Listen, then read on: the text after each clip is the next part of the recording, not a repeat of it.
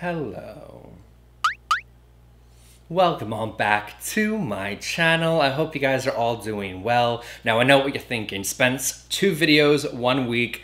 It's happening it's happening. I've really been in this glam mood lately, and I've really been enjoying just hustling and bustling these last couple of weeks to provide y'all with as much content as possible. And besides all else, I'm really honored to be partnering up with Armani Beauty today for today's tutorial. So with that said, I created naturally a very luminous look with the complexion.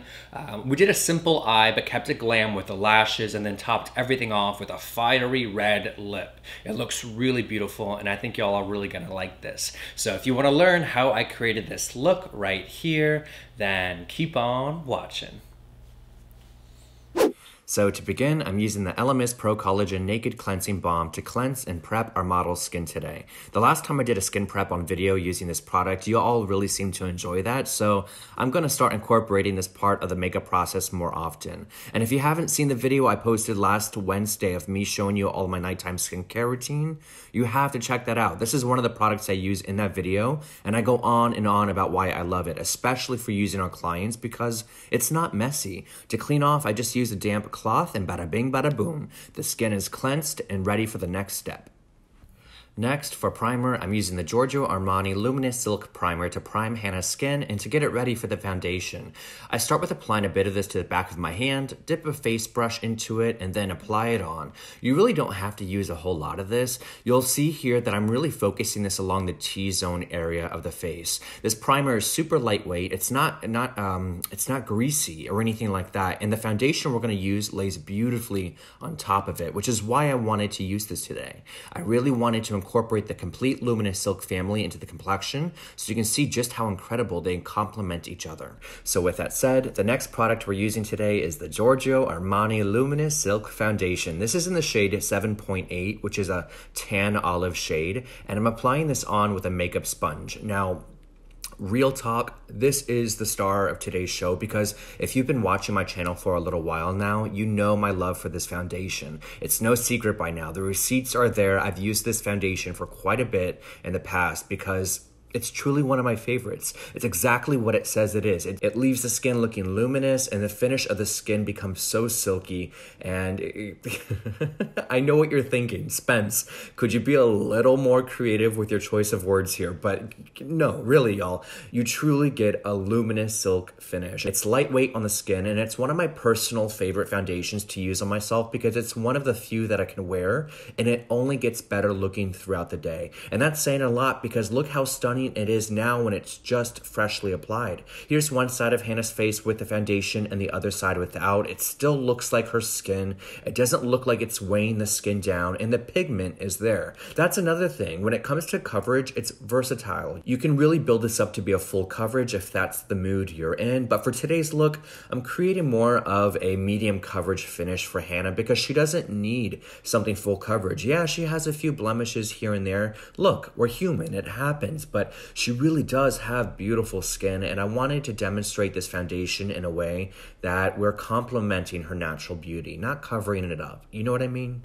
Anyways, now that we're finishing up here with the foundation, we're going to move on to the next product, which is the Giorgio Armani Luminous Silk Concealer, and I'm placing this onto the under eye area with a brush before I blend it out with my makeup sponge. The shade I'm using here is the shade 4, which I think is the perfect shade for Hannah's skin tone because it's not too light. Of course, if you're somebody who likes a really bright under eye highlight, you can just bump up the shade you're using.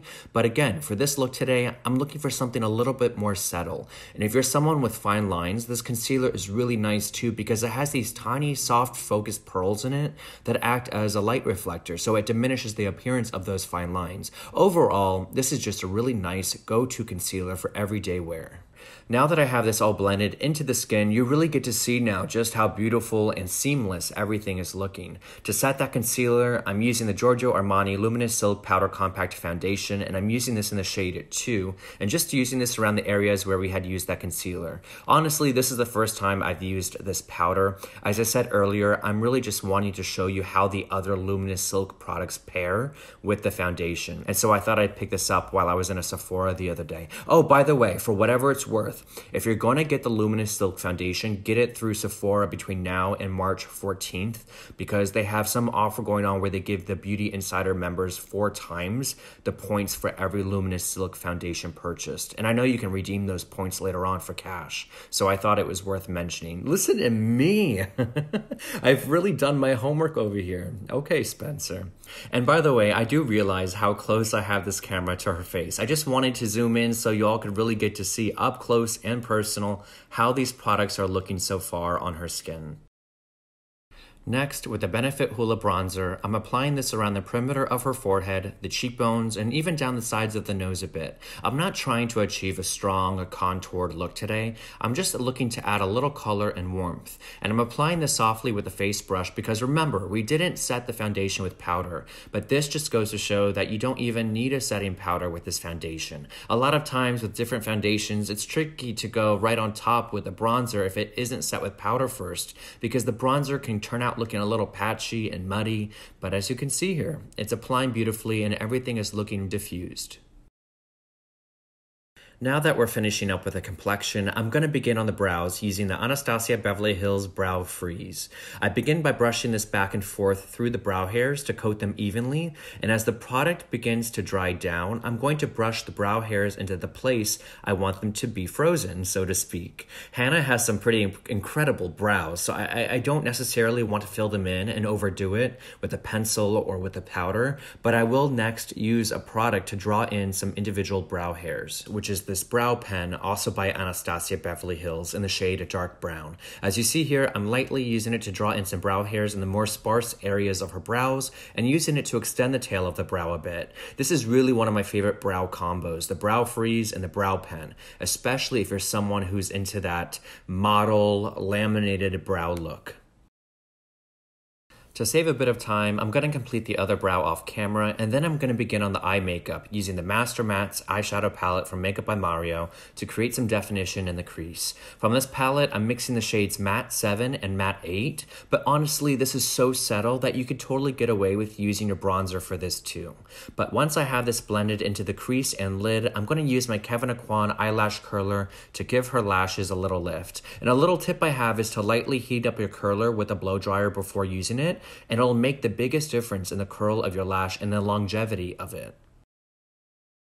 Next, I'm using the Killer Liner from Too Faced in the shade Killer Cashmere to run through her waterline. I used this a couple of videos back, and as I said in that one, I really, really like this nude liner. It's been difficult for me to find a good one over the years. I've always used the same one from MAC, but it's kind of hard to get that one because they only sell it in the pro stores, but I, I, I, think this might be my new favorite. I don't know. Do you guys have any other recommendations for a nude liner? Because if you do, please, please let me know down in the comments. Here I'm using the Fenty Beauty Full Frontal Mascara to coat the bottom and top lashes. Since the drama in this look ends up being in the lashes and in the lip color, I'm not being shy with this mascara. I'm really layering this up to give the drama I'm looking for. And because Hannah loves lashes and I'm in a really good mood today, I'm adding on a pair I custom made for her. I have a video on my channel where I teach you how I make these. I'll link it down below. But as always, I'm placing a tad bit of mascara on these two to help them seamlessly blend in with her natural lashes. Next, I'm taking the one size point made eyeliner pen and using this to draw on a subtle winged liner. Of course, you can make this a little bolder if you'd like, but something about a simple liner with a full lash looks really flattering to me, and I think it really helps make the whole look come together and look a little cleaner. Once I have that liner applied, I'm going to use the Beverly Hills highlighter from Ofra to highlight the cupid's bow down the center of the nose and the inner corners of her eyes. In the highlighter, you'll notice there are five different shades in it, which is nice because you kind of get five highlighters in one, but I'm using the light champagne shade for this look. And you'll notice I'm not using this on the cheekbones today because I really like the natural luminosity we're getting already from the foundation we used earlier. Now, I'm mixing these two liquid lipsticks to create the perfect shade red. The deep red lipstick is called Sarafine from Anastasia Beverly Hills, and the orange one is called A Go Go from KVD Vegan Beauty. I love an orangey red lip, so I always have an orange lipstick in my makeup kit with me at all times to mix into different reds I use. My favorite red lip to create is to use a deep red around the borders and then use the orange as a pop of color in the middle. And then with a clear gloss on top, Oh my goodness gracious, it's heaven. But I've done that on my channel before, so I, I wanted to switch it on up a little bit today, which leads me to pointing out for the first time ever on my channel, I'm doing a matte lip. This is monumental for me because you know I love a glossy lip. But hey, I know just because I love a glossy lip doesn't mean everyone's gonna love a glossy lip too, so for those of you who don't, this is for you. Okay, lastly, I'm using the Huda Beauty Glow Coco Hydrating Mist to set the makeup and to lock it into place, which officially makes this the last step in creating this luminous look on our beautiful model, Hannah.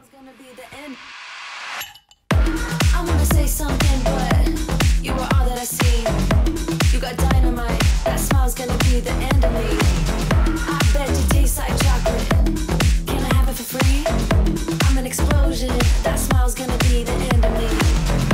There we have it, kids. As promised, let me show you what this look would turn out to be had you done a nude lip with it. I think it looks really beautiful, whether you go with a red, or you can do a pink, or you could do any color. That's what's really nice about this, uh, this eye look, is that you can pair it with any color lip. But I'm curious to know what you think. Let me know down below in the comments what your thoughts are. Does it look better with a nude? Does it look better with the red? Either way, I hope you enjoyed this video. If you did, be sure to give this video a big old thumbs up and subscribe to the channel. You can also check out more of my work on my Instagram at Painted by Spencer. And until next time, I'll see you soon.